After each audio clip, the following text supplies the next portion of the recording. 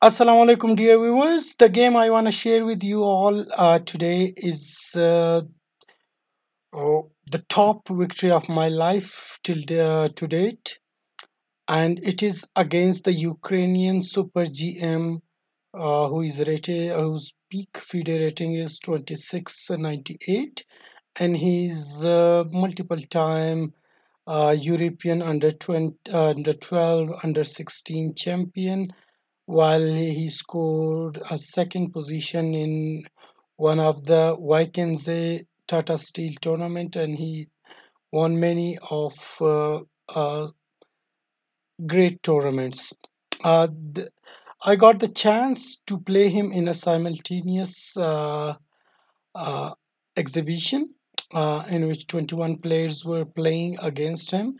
The time control was 20 minutes per side with 5 second increment per move starting from move 1 uh, um, in this game uh, i was playing black white and uh, i opened with uh, d4 he responded with d5 i played knight f3 he responded with knight f6 and i played c4 the main line queen gambit uh, he responded with Slav defense, and uh, I went on uh, playing knight f uh, knight c3, and he took the pawn. Uh, and this is a a very popular uh, line of the Slav defense, and there are many ways for white to play. I responded here with a4 to stop b5 while uh, he got the opportunity and he availed it by playing bishop f5 i responded with the e3 and he played e6 and i took the c4 pawn. This is the main line slav defense Czech variation. Uh, here uh, i fortunately played a few games against KPK champion and one of the top player of the country, Mr. Salman Ali Khan. Uh, one of the game was in a tournament uh, which I was uh, uh throughout the game I was uh, having an advantage, but uh, the game ended in a draw. While I played uh, one game in this line with uh, uh, our international master, Mr. Mahmood Lodi, uh, and I played few games against one of the emerging player of Balochistan, Mr. Rehan Khan. So I was familiar with the concept of this line, and uh, one of the most popular game of 14-time Pakistan champion Mr. Mahmood Lodi uh, was in this line as well, in which he played Veselin Topalov, world champion. And in that game, Mr. Lodi played in this position uh, knight b d7, Topalov castled. Mr. Lodi played bishop b4, and then Topalov went for immediate uh, knight h4 and Mr. Lodi responded with I think uh, uh, bishop uh, g6 uh, that's very interesting game which Topalov won. Uh, so I was familiar with this line. So op I opted in this position to play the Czech variation of Slav defense classical system Mr. Uh, Ivanovich played bishop b4 which is the main move. I castled, he castled, and he played. I played queen uh, e2 uh, to support my uh, e4 push, and he responded with uh, knight b d7. In this position, the main move is always uh, e4, but one of the sideline which I prepared uh, is uh, rook uh, d1 and that is very poisonous move. So I opted for uh, rook uh, d1 he responded he immediately responded with queen uh, e7 and I played e4 and he responded with bishop uh, g6 uh, as per my preparation uh, I always wonder why no GM in the world has ever played this move. Bishop g5 which is very promising in this position as the knight uh, as uh, the bishop is on at uh, g6 uh, so black has no option to play h6 and g5 uh, to blunt my bishop.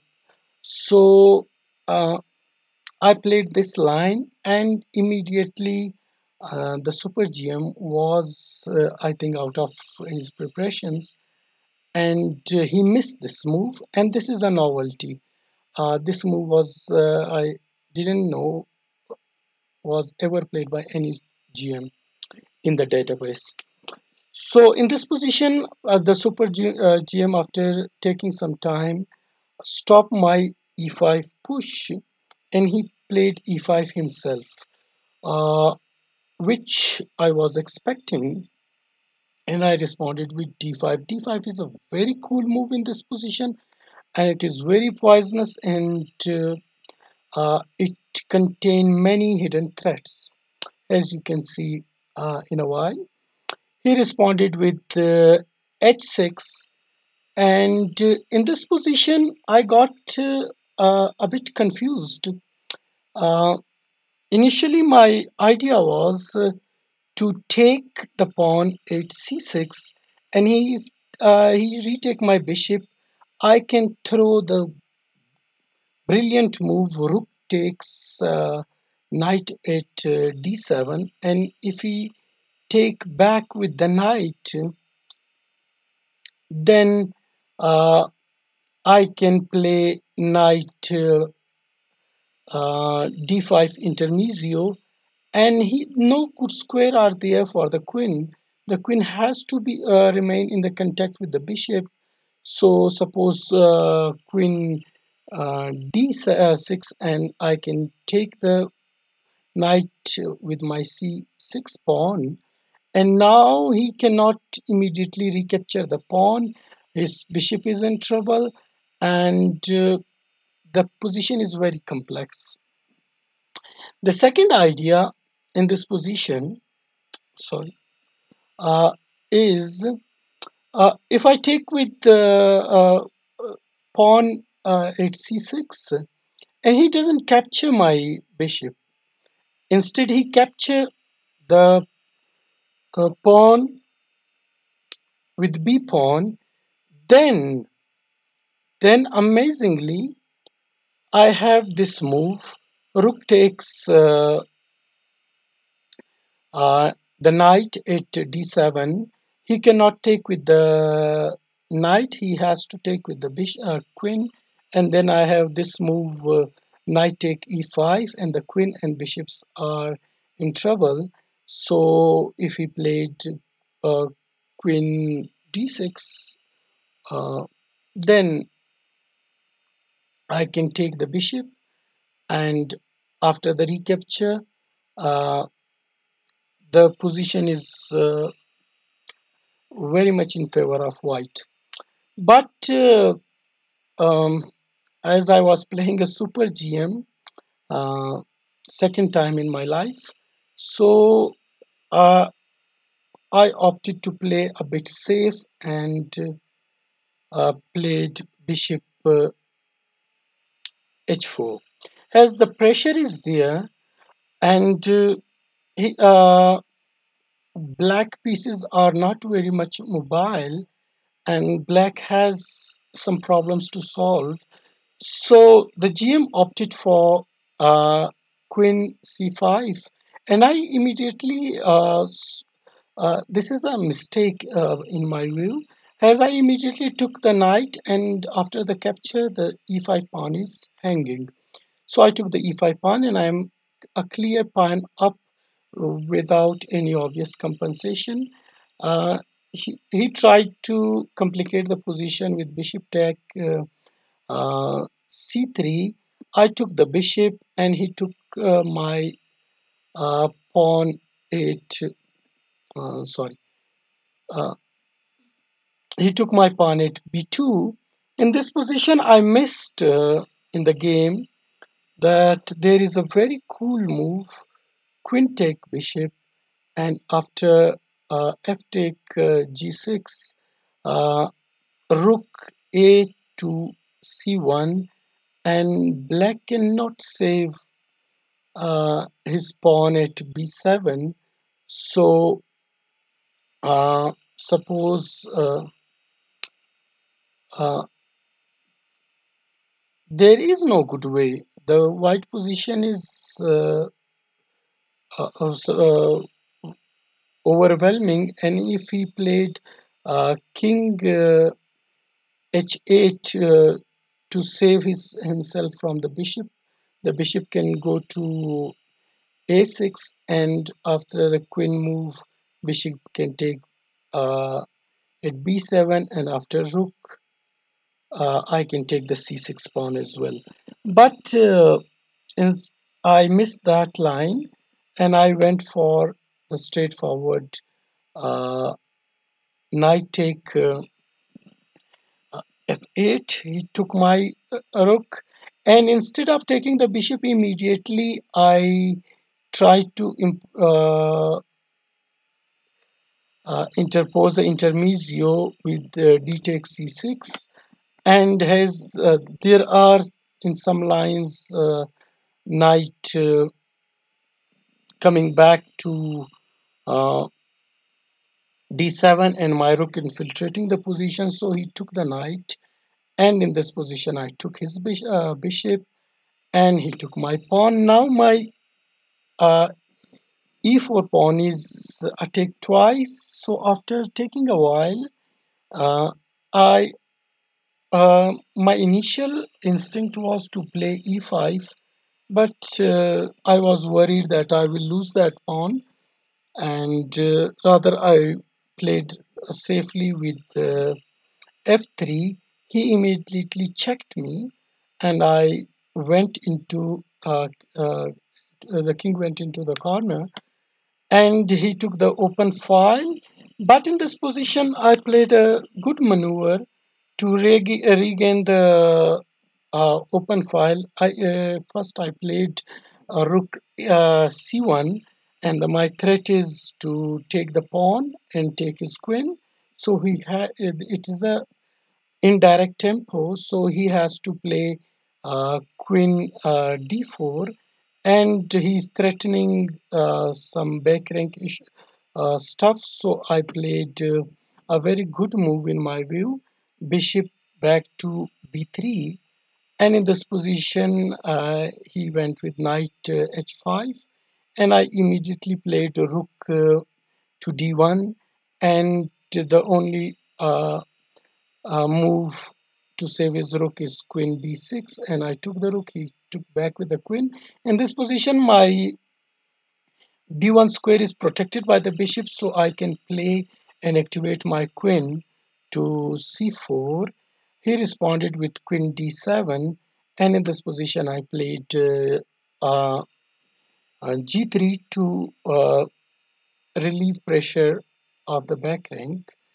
Uh, surprisingly, uh, GM uh, took this pawn as he's gaining back uh, at least three pawns in this position, uh, which is very near to endgame. But I was surprised because after taking the pawn, I thought that he has no chance to win the position now.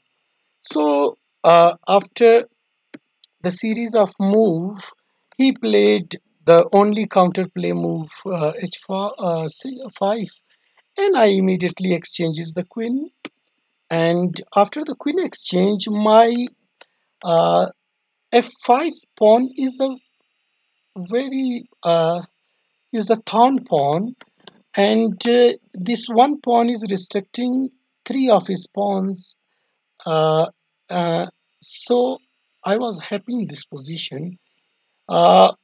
He saved his uh, uh, f7 pawn and I don't think it is a good move. uh, because he's uh, allowing me a tempo. Although uh, after the game, the analysis show that uh, my move King uh, F2 was also not a good move, and his move King 2 uh, h6 and what else he has? In this position i thought for a while uh, we were having some i was having some four minutes on my clock while the gm was having six minutes while after thinking a while i was worried about his uh, counterplay on the queen side by uh, playing uh, first the a6 move and then uh, getting the pass pawn with a5 so i opted for bishop d5 to force him to move his b pawn which he did. And then i calmly played the bishop to e4 and now my uh, c pawn uh, f pawn is a problem for him. And uh, there is no easy way to get rid of this pawn. He played king to g5 and I played a very very nice move.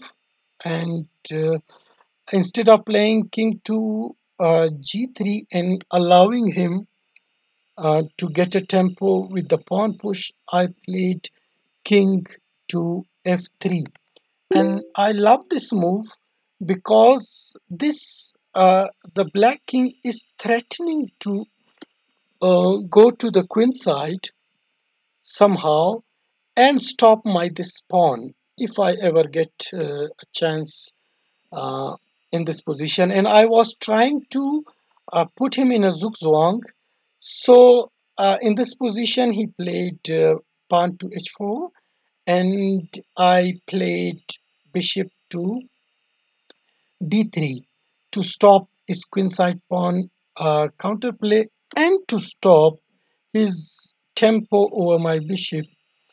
So he played uh, a very nice move, uh, a6 uh, anyway, but I was not interested to take his a6 pawn and give my lovely pawn at f5 and all of his pawns will be free to move on the king side.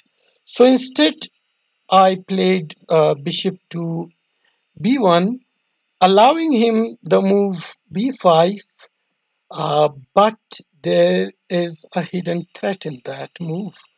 I simply pushed my pawn to a5 and now his a6 pawn is in light squares and I have a light square bishop and I'm only three uh, moves from queening.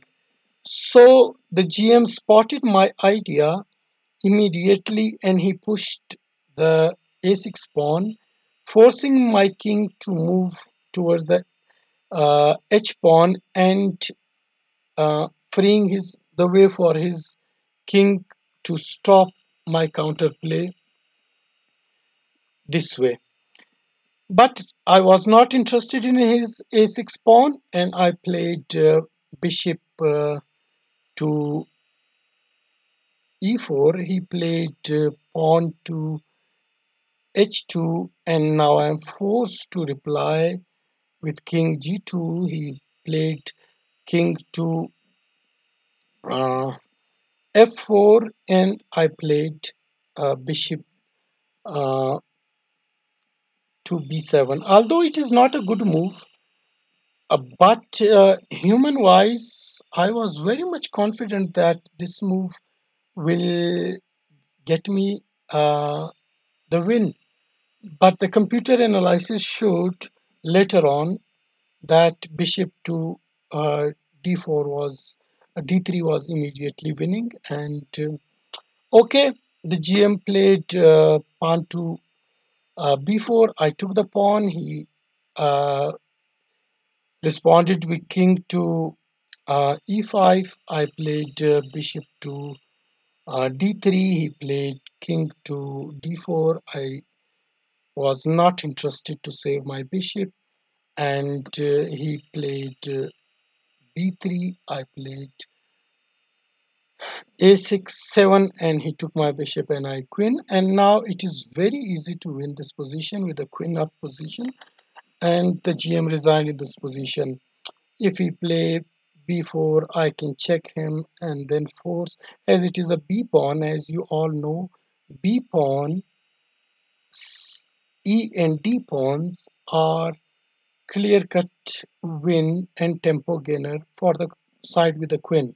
I can force his king in front of his b pawn and then he will lose the tempo and I will use these tempos uh, multiple time to uh, get rid of all of his pawn and then I can uh, even sacrifice my queen uh, for the b pawn and then my c pawn is a game changer so this was a brilliant victory and I was very proud of this game. Uh, I will show uh, some of the uh, stream clips as the GM was streaming during this game during the simultaneous exhibition. And uh, this is my third victory against a GM first was against uh, Russian GM Mazarovich which I already included in my channel. The video is present. The second victory I will share in a few days. And uh, with that thank you so much. Please like and subscribe. Goodbye